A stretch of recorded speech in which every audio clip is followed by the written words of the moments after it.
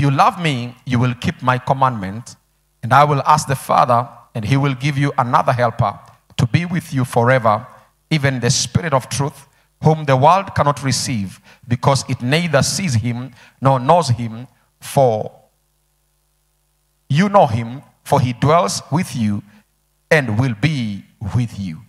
Praise the Lord. I will not leave you as orphans, I will come to you. May the Lord bless the reading of his word. Praise the Lord.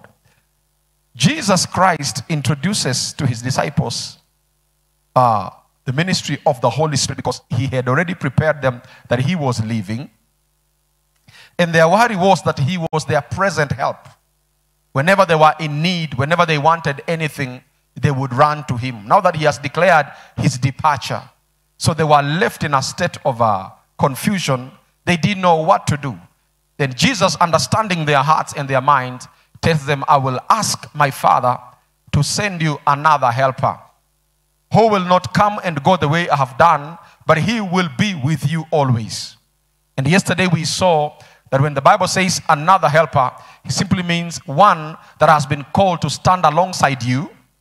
And number two, one that has been called to intercede for you. And number three, one that has been called to strengthen you. Praise the Lord. Today, I want to show you why Jesus introduced the Holy Spirit. He was not just introducing another concept or another good idea. Hello?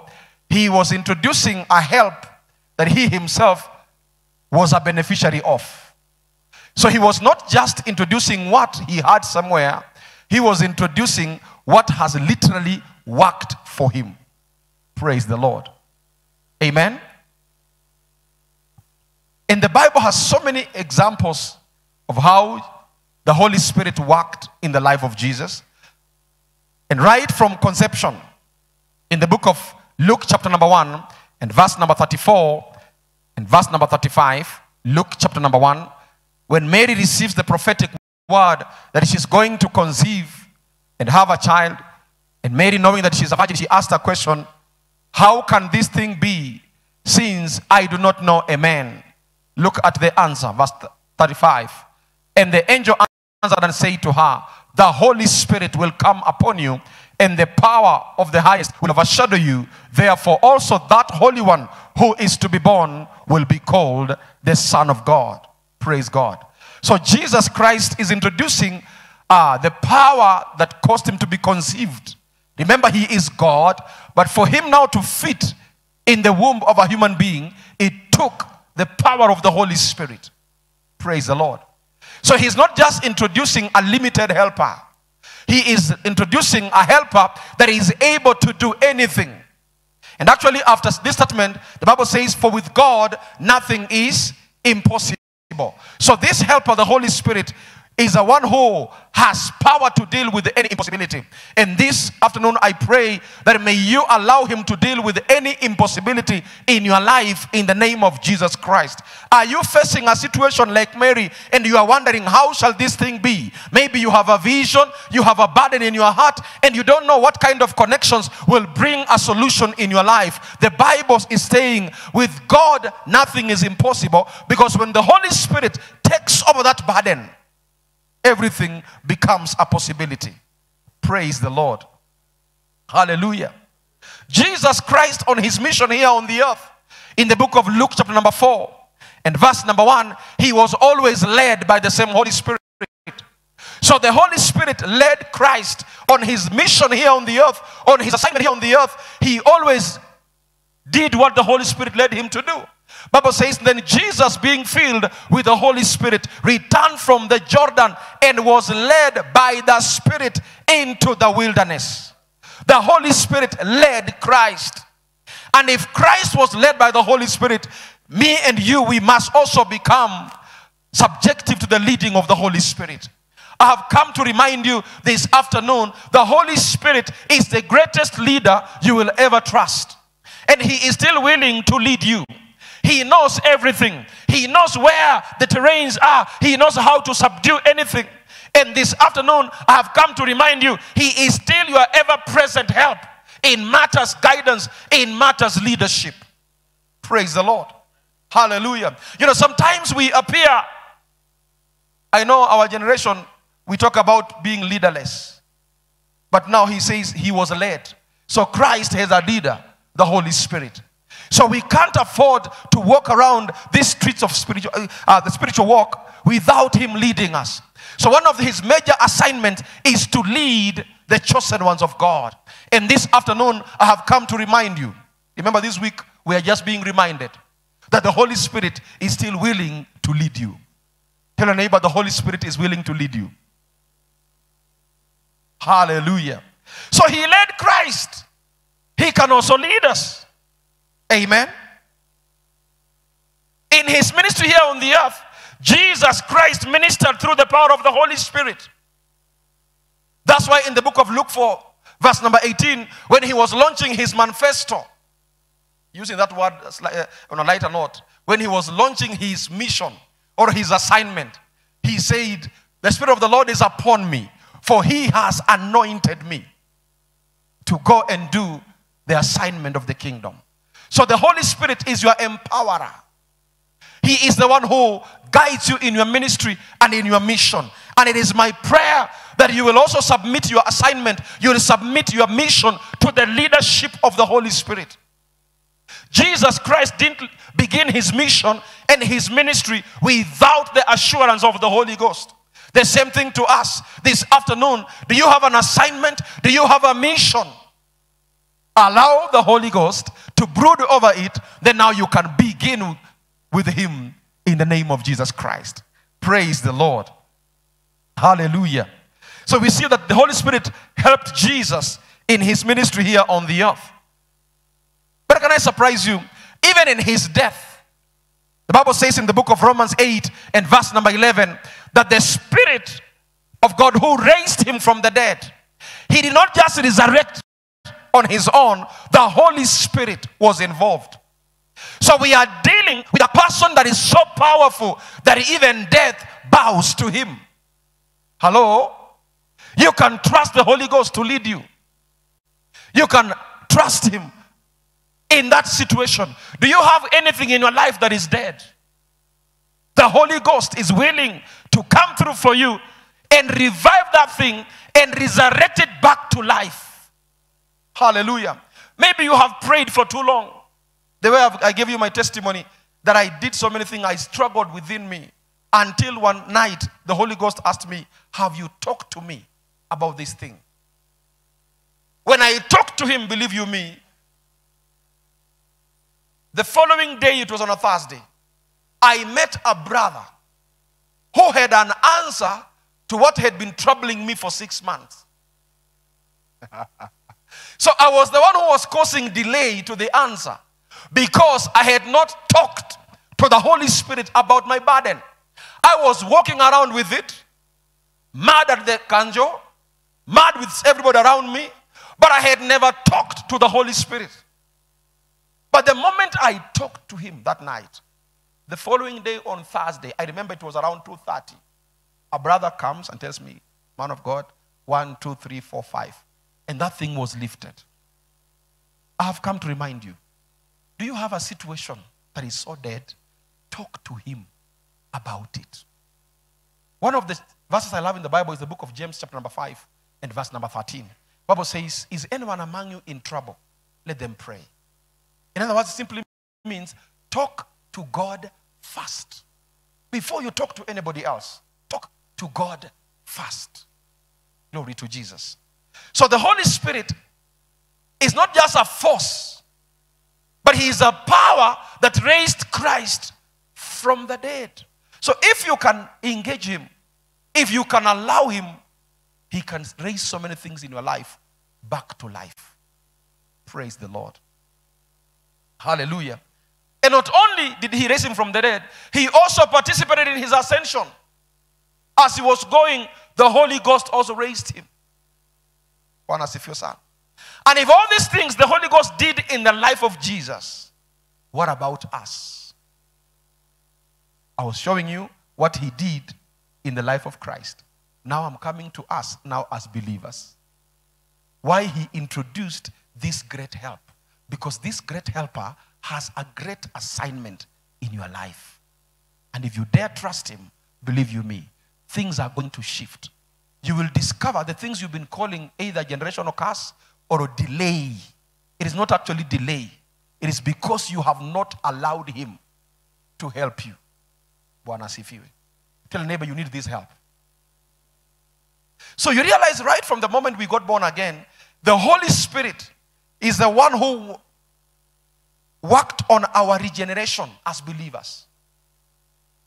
That day you got born again, as the preacher was preaching in that crusade, maybe in school, maybe on the marketplace, it is the Holy Ghost who began working a work in you. Then you decided just to come and, and repeat after the preacher. It was not your initi- initiative, it was his initiative, the Holy Ghost himself. So he is responsible for your new birth.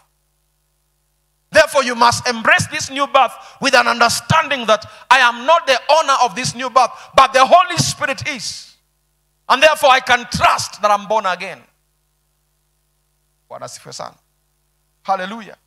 And not only does He initiate your new birth, but He chooses now to indwell you. So you are not empty, you are loaded. Hallelujah. That's why in the book of First Corinthians 6, verse number 19, he says, You are the temple of the Holy Spirit. He chooses to make his abode in you. He chooses to inhabit in you. So anytime you are walking, you are not alone. The Holy Spirit indwells you, and therefore you are loaded with any divine capacity that is needed for anything in life. I have come to talk to people who are so loaded. Please tell your neighbor, I am loaded because I have the helper within me. Glory to God. So even when you go through the shadow of the valley of death, fear not. Remember, you are loaded. You have him within you. Hallelujah. Hello? Another thing that I really love about the Holy Spirit, not only does he indwell me, but one of the things that I have come to love, that he fills me. Oh, hallelujah. He fills me. Anytime I am full of Him. In other words, I am equipped for life and I am equipped for any eventuality. You know, many times as believers, we walk around as rained on chicken. The enemy wants us to feel as though we are on our own. I want you to remember that the Holy Spirit is right with you. You are not alone and you are not on your own. This week I've come to remind you you are so privileged more than any other creation because divinity chose to fill you and to empower you for life and for any sana. Another thing I like about the Holy Spirit is this. He is the one who interprets to us spiritual things. Are you going through a situation? Are you going through a season and you don't know what to do? The Bible says in the book of First Corinthians 2, verse number 12 to 14, First Corinthians 2, verse number 12 to verse number 14.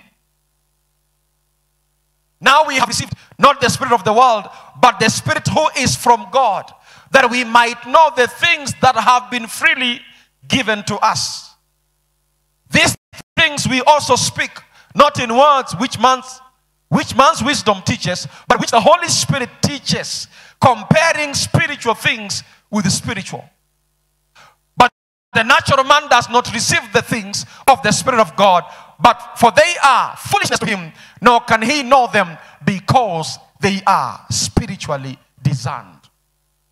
So you have the Holy Spirit to interpret to you spiritual things, even seasons, relationships, doors that come in your life it is the work of the Holy Spirit who is resident in your life to explain them to you. And you must be a man of the Spirit for you to understand His language. Glory to Jesus. You are not empty, you are so loaded.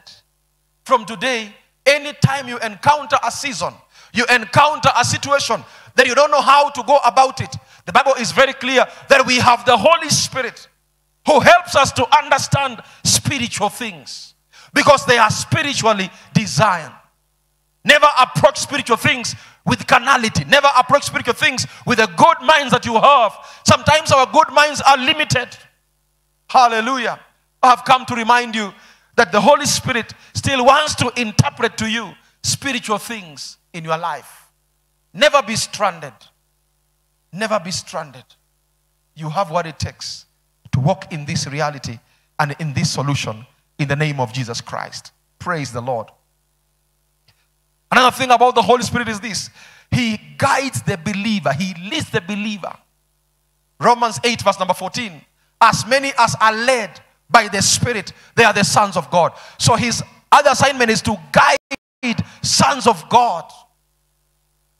And remember where we read the Bible says he is the spirit of truth. So he can't lead you into a lie. He can't lead you into a mistake. Hello? Praise God.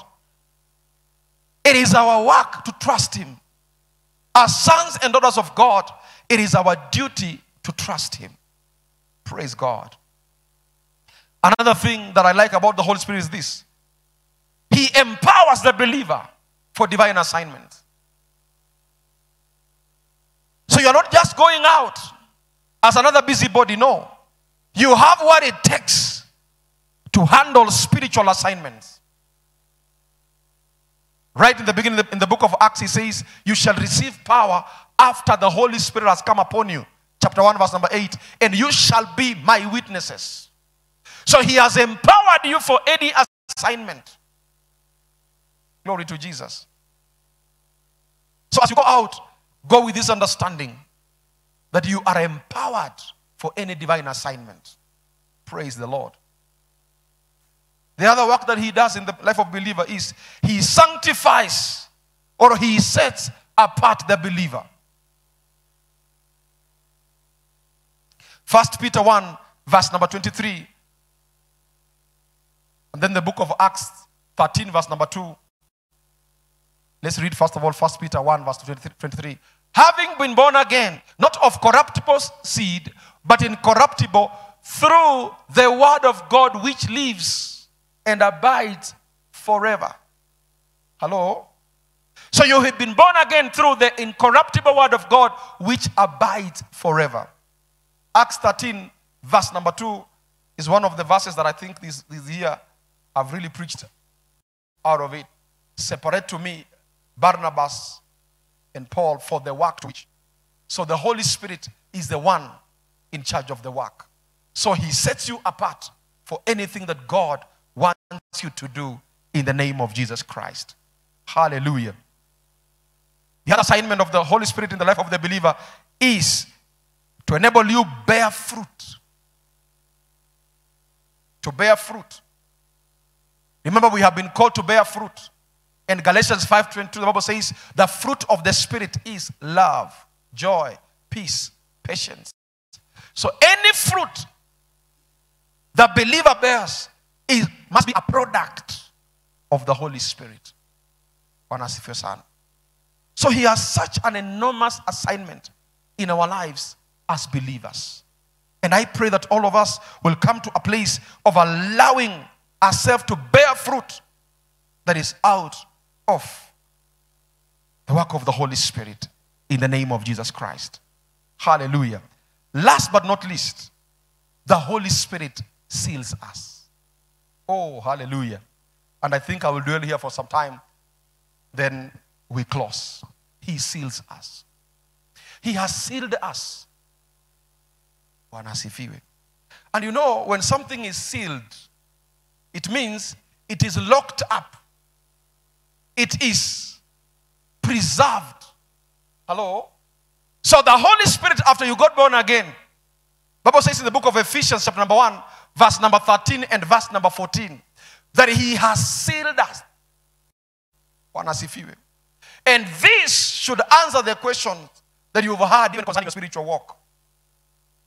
In him also, in him you also trusted after you heard the word of truth the gospel of your salvation, in whom also, having believed, you are sealed with the Holy Spirit of promise, who is the guarantee of our inheritance until the redemption of the purchased possession to the praise of his glory.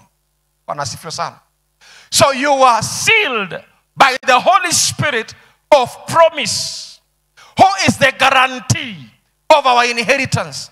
So I want to remind you that your inheritance in God is sealed and guaranteed. So we don't have to look for nyota. It is there. This thing is sealed. Nobody can steal it. Hello? The Holy Spirit knew very well that if he hands this to men, men are manipulative. So he sealed it in Christ. So the question we must ask how did we come to the place of sealing? Ephesians chapter number one.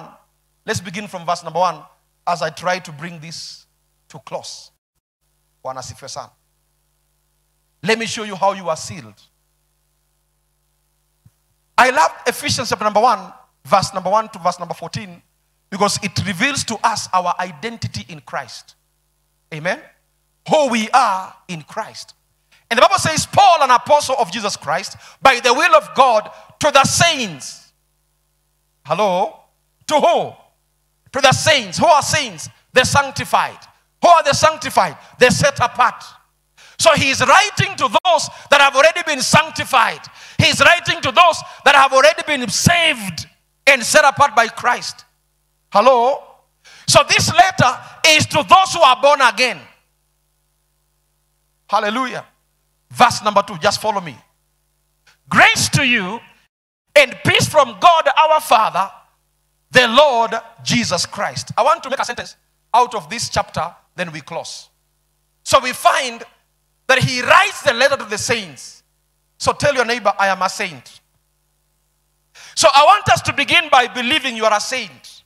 For us who are in Christ, we don't die, then we wait for maybe two years, we perform a miracle, then uh, uh, we go through sainthood, then become no. We became saints through the death of Christ. So say with authority, I am a saint. No, you don't believe it. Say, I'm a saint. Hallelujah. So from today, you can call yourself Saint Ndolo. Amen. But Pastor says, grace to you and peace from God our Father to the Lord Jesus Christ. Sorry, and the Lord Jesus Christ. When He is your Father, who are you to Him? Say, I'm a son. So let's now form our sentence. Say, I am a saint who is a son. Hallelujah. Verse number three. Blessed be the God and Father of our Lord Jesus Christ, who has blessed us with every spiritual blessing in the heavenly places in Christ. Now, he's writing to a blessed person. We are not waiting for the blessing, we are already blessed. And you better believe it. Say, I am blessed. I want to show us how why we are sealed. So say, I am a saint who is a son that is blessed. You better believe it. Say, I'm a, I'm a, I'm a saint who is a son that is blessed. So from today, don't wait for a prophet from anywhere to come and tell you you are blessed. You better walk around knowing I am blessed. Glory to Jesus. Verse number four. So it's a sentence we are forming that will lead us to being sealed. Just as he chose us in him before the foundation of the world, that we should be holy without blame before him in love. Tell your neighbor, I am chosen. Uh-uh, say, I am chosen. So you didn't choose Christ, He chose you. Amen. So in this sentence, it say, I am a saint who is a son that is blessed after being chosen. Oh, hallelujah. So in other words, you passed the exam. You passed the merit of king of the kingdom. Glory to Jesus. So say, I am chosen. So from today, please walk around knowing you are chosen. You are the best that God has. Glory to Jesus. Verse number five. Having predestined us to adoptions as sons by Jesus Christ to himself, according to the good pleasure of his will. Hallelujah. Tell a neighbor, I am adopted. you better believe it. I am adopted. Amen. So say, I am a saint who is a son that is blessed after being chosen, then adopted. Now, you know, when it comes to adoption, people can reject you. If today Pastor Mark was to adopt me, I may find favor in his eyes, but, but he has to convince his wife and the other sons if they are ready for another son. Hello? but I thank God that our adoption, there was no rejection. There was no objection. Bwana asifiwe son. So the next verse now shows us that. Let's go to the next verse. To the praise of the glory of his grace, by which we were accepted where? In the beloved. Say, I am accepted. No, back to our sentence. Say, I am a saint who is a son that is blessed after being chosen. Hello? And then adopted. And then accepted. So your adoption was accepted. Glory to God. So you belong where? In the beloved. You are not a neighbor in the family of God. You are not a cousin. You are a son who belongs. So you better function and operate as a son who belongs. Because you are a saint who is a son that is blessed after being chosen and adopted, then accepted in the beloved. Therefore, you belong. One as first son. The next verse, verse 7. In him we have redemption through his blood, the forgiveness of sins according to the riches of his grace. So your adoption took redemption. So say I am a I'm, I'm a saint who is a son that is blessed after being chosen and adopted, accepted in the beloved. Now I'm redeemed. You better believe it. So in this family, you're not a sinner. Hallelujah. Amen. Because redemption means to buy back out of. So you are not sitting there waiting, maybe somebody may come and lay an allegation on you. You better sit there knowing that you belong. The next verse now says, which he made to abound towards us in all wisdom and prudent, So God expects after redeeming you, now you must be wise. So say, I am wiser.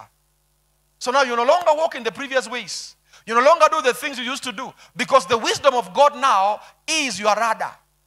God guides you. So say, I'm a, saint, I'm a saint who is a son that is blessed after being chosen. Hello? And then the next one is adopted where? And accepted. I was adopted, then accepted where? In the beloved. After being redeemed. Now I am wise. Say, I am wise. So, in other words, I'm God's wisdom on two feet. Hallelujah. The next verse. Having made known to us the mystery of his will according to his good pleasure, which he purposed in himself. Verse 10.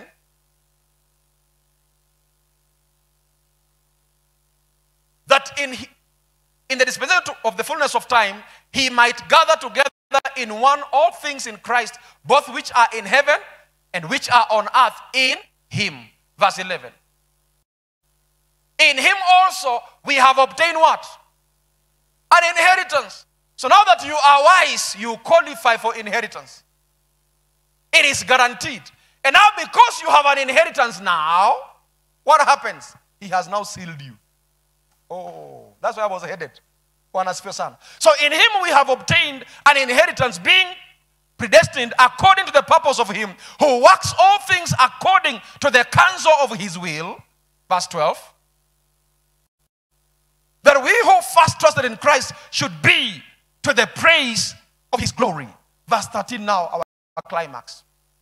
In him you also trusted after you heard of the word of truth, the gospel of your salvation, in whom also, having believed, you were sealed with the Holy Spirit of promise. So, because you have an inheritance, you are the redeemed of God. Your life is sealed. Your destiny is sealed. It is settled in Him. So, anytime you are doubting, allow the Holy Ghost to remind you that you are a saint who is a son that is blessed after being chosen and adopted, then accepted in the beloved. Now he is wise. Oh, hallelujah. Hallelujah. Praise the Lord. So you, are, you have been sealed because you are a saint, you are a son, you are chosen, you are wise, you are redeemed, you have an inheritance. Then he put a seal. What is a seal? To preserve, to lock up. May the Holy Spirit keep reminding you these things. That any day you feel low, remember you are a saint. Any day you feel low, remember you are a son. Any day you go through lack, remember you are blessed. Any day you feel you are not worthy, remember you are wise. Anytime you feel you don't belong, remember that you are accepted in the beloved and you belong in the family of God. God bless you so much.